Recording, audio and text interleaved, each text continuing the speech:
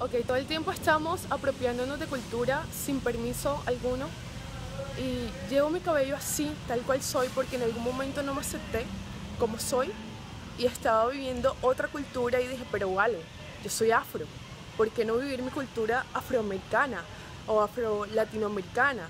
¿Por qué no vivir eso con lo que nací? ¿Por qué no aceptarme tal cual soy? Y decidí apropiarme de lo que soy y llevarlo así, libre como somos todos.